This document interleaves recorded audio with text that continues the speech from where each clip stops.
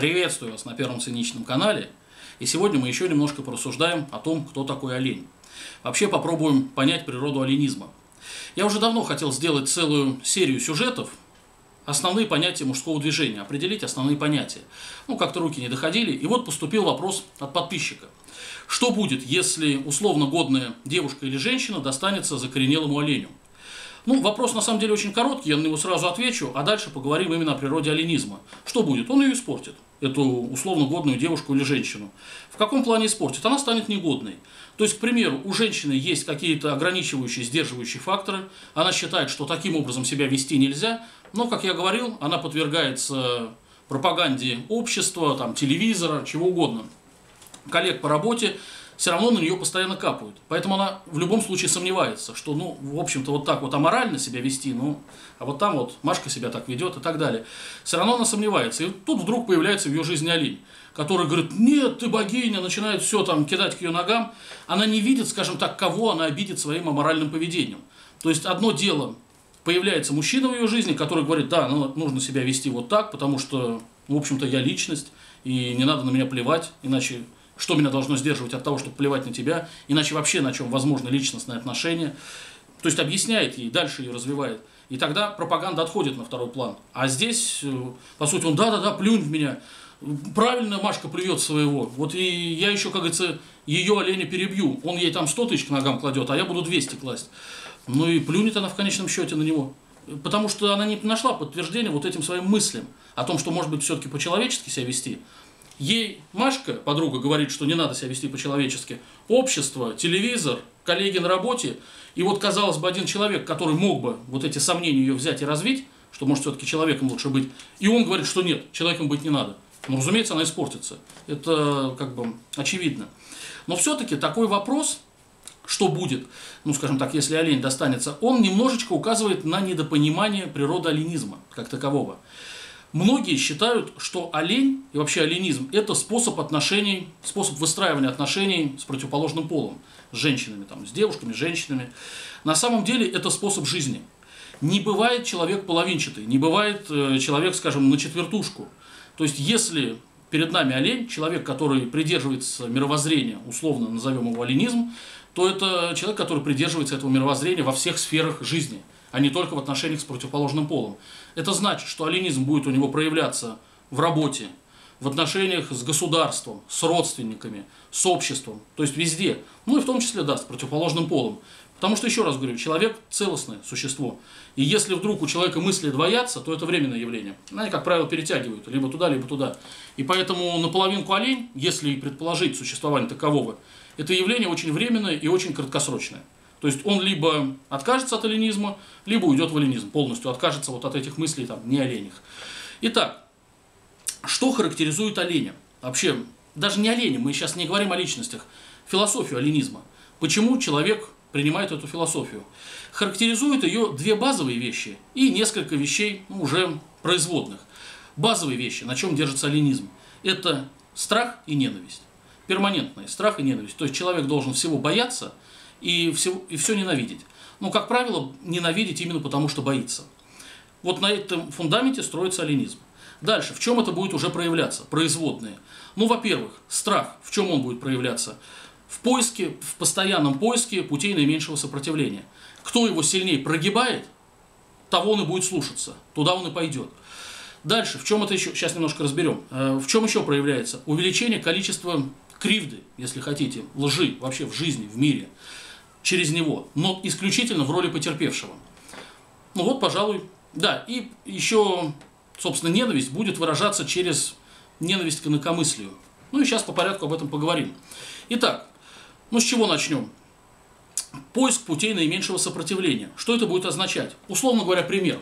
С него требует государство налог, а он считает, что надо, надо платить. А как же накажут же, надо платить. Но женщина говорит, что, слушай, ты меня сейчас в ресторан не сводишь, я тебе не дам, и вообще зачем ты мне нужен.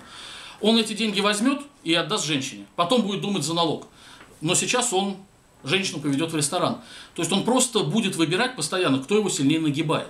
Если вдруг появится какая-то сфера жизни, некое поле свободной деятельности, такое свободного творчества, где его никто не нагибает, не знаю, рисуй картины, тебе дано, ему это будет неинтересно. Ему постоянно нужно вариться в отношениях, где его будут все нагибать. Потому что и туда, в это свободное творчество, он выйти боится. Он боится шаг сделать без разрешения. Ему там не давали разрешения. Вот здесь женщина ему говорит, делай так, так и так. Государство говорит, делай так, так и так. Все, ему определили следующий шаг. Вот здесь он и будет делать. А там, там его другой страх одолеет. Никто не определяет ему, что делать. И поэтому очень ошибочно считать, что, например, если там мужчина работает, не знаю, до, с 8 до 10 вечера, прогибается под начальство, перерабатывает, это олень. А если он прогибает, уже будучи начальником, прогибает другого мужчину, или там подчиненного, неважно, мужчину, женщину, прогибает, э, чтобы тот работал, перерабатывал, то это не олень, это уже ну, некий такой альфа-самец. Это тоже олень. Он его прогибает, просто ну, в другой должности. Он его прогибает не потому, что сам считает нужным прогибать, а потому что его уже прогнуло идеологически общество – женщина, которая рядом с ним, жена, что нужно зарабатывать много, нужно прогибать других, нужно идти к успеху и так далее, нужно потреблять как можно больше. Он прогибает только потому, что прогнут вдоль и поперек сам. И тогда он начинает прогибать уже других. Ну, если дорывается до этой должности. Далеко не все дорываются, кто-то так и остается на рядовых должностях. Поэтому даже начальник, да, вполне может быть оленем, который прогибает. Он прогибает точно так же с 8 до 10. Он же, говоря, что давайте сегодня работать, с работы не уходит, как правило. Что вы сидите, а я пойду. Как правило, нет. Он также будет сидеть. И более того, у него появляются другие риски, там, перед той же налоговой, УБЭПом и так далее. Он прогибается, как правило, больше. А то, что он с этого больше получает, ну так и что? Ему нужно больше получать, потому что он больше прогнут, ему нужно больше соответствовать, там, быть успешным и так далее.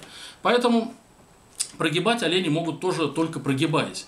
И здесь он все равно потерпевший. Он вынужден прогибать. Ну вот что касается поиска путей наименьшего сопротивления. Он всегда будет выбирать, кто его посильнее прогнет. Дальше. Ненависть к инакомыслию. Ну что это такое? Ненавидеть будут больше всего за дело, не за слова. Вот если вы человеку, который исповедует оленизм, скажете, что ты не прав, ты прогибаешься под женщину, прогибаешься под систему, он всегда может ваши слова спорить. Поэтому слова не столь страшны. Страшен пример иной жизни. Слова, ну, вы ему говорите, что ты прогибаешься под жену, тобой жена командует. Он говорит, да, ладно, что ты мне, тобой еще сильнее командует. И все, вы говорите, что да нет, ни капли, да, ну бросьте. Всеми командует, что ты меня заливаешь. И все. Он всегда может просто упереться и сказать, что врешь. Дальше. У вас нет жены, и вы говорите, что без жены лучше. Да ладно, ты просто семью не смог построить. Вот единственная форма семьи – прогибаться под жену. Ну, не прогибаться, я просто ее люблю. Это ты считаешь, что прогибаюсь, а я ее таким образом люблю. Вот. И это нормально. Поэтому у меня есть семья, а ты неудачник, у тебя семьи нет. То есть ваши слова всегда могут быть взяты под вопрос. И совсем, вас будут ненавидеть за слова, но минимально. Но и намного сильнее вас будут ненавидеть, если вы покажете примером, пример иной жизни. То есть у вас есть жена, очевидно, вы под нее не прогибаетесь. То есть это видно вы каким-то образом засветили ваши отношения. У вас нет жены, вы реально счастливы. То есть вы говорите человеку, ну, допустим, вы не в подчинении, вы говорите, что, что слушай, ты работаешь там до темна, а я вот поехал куда-то. И не просто, что я не работаю до темна, мне это не нужно, все, я там поехал в другую страну смотреть. Вот за это вас будут ненавидеть, за пример иной жизни. Поэтому это что касается инакомыслия. Что касается увеличения количества лжи. Каким образом? Ну, я уже сказал, только в роли потерпевшего. И прогибаясь, допустим, под начальника.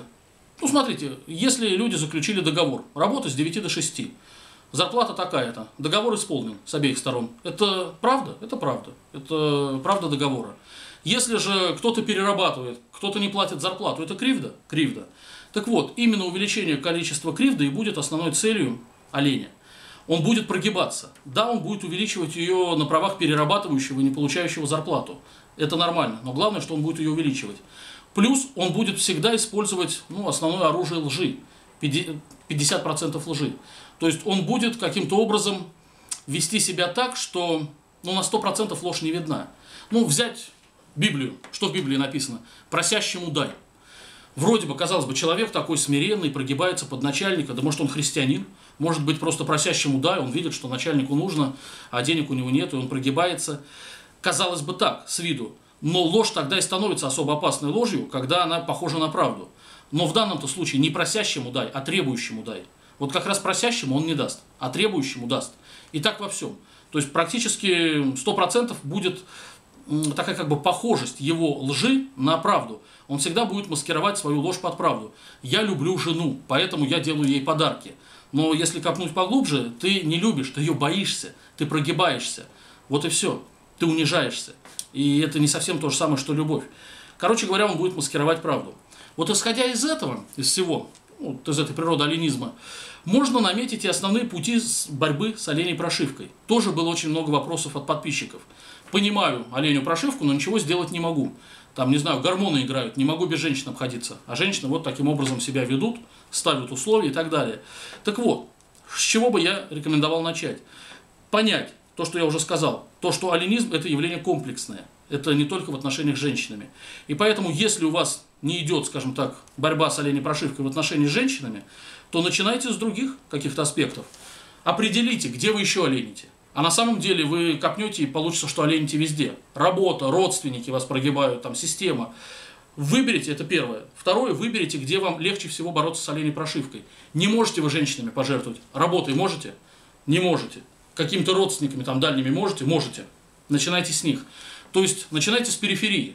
И когда вы вот эти вот корешки обрубите, дальние корешки, чем корешки дальше, тем они тоньше. Их больше, но они тоньше. Это как дерево. У него там 3-4 корня основных, их не перерубить, они толстые. Потом разветвление, их уже там десяток, чуть потоньше и так далее. И конечные, они уже очень маленькие. Рубите их. Будет много работы, но зато легко обрубается корешок. Вот так перерубается оленя прошивка. И вы подойдете уже вот к этим вещам с теми же отношениями с женщинами, к этому толстому корню, но он уже будет засохший. И он легко отрубится. Он будет засохший, потому что все боковые срублены. Все, ему уже питание ему не идет, и он просто там руками переламывается, несмотря на толщину. Вот так. Это и есть оленя прошивка. Самое главное, определите периферию. Определите периферию оленей прошивки. Она огромна. Она суть вся ваша жизнь. Все ваши отношения, все ваши какие-то связи. Еще раз говорю, не бывает олень наполовинку, не бывает человек наполовинку. Ну вот, немножко такие размышления об оленизме, о его природе.